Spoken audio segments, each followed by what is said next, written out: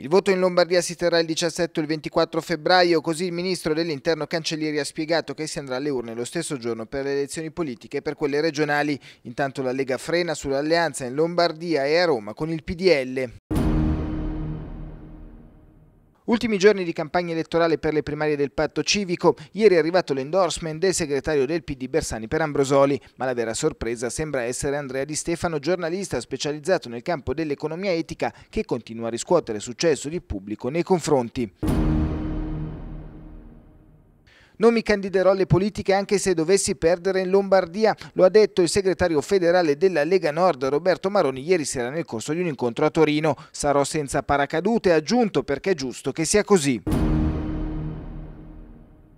È polemica dopo i ritardi e i disservizi che ieri hanno paralizzato le ferrovie lombarde. Il sistema informatico di Trenord che gestisce i turni del personale è andato in tilt paralizzando la rete. Regione Lombardia ha chiesto un rapporto ufficiale sull'accaduto. Trenord si è scusata con gli utenti spiegando che entro oggi il problema sarà risolto.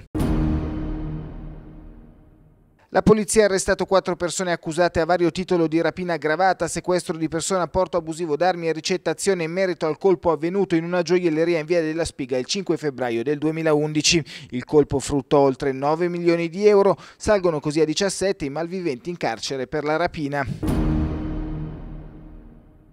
Andrà ai detenuti di San Vittore il ricavato della vendita dei biglietti omaggio del Comune di Milano per la prima della Scala. Lo ha deciso ieri il Consiglio Comunale approvando una mozione presentata dal capogruppo di Sel Patrizia Quartieri. Il denaro, circa 200.000 euro, servirà a migliorare le condizioni delle persone recluse.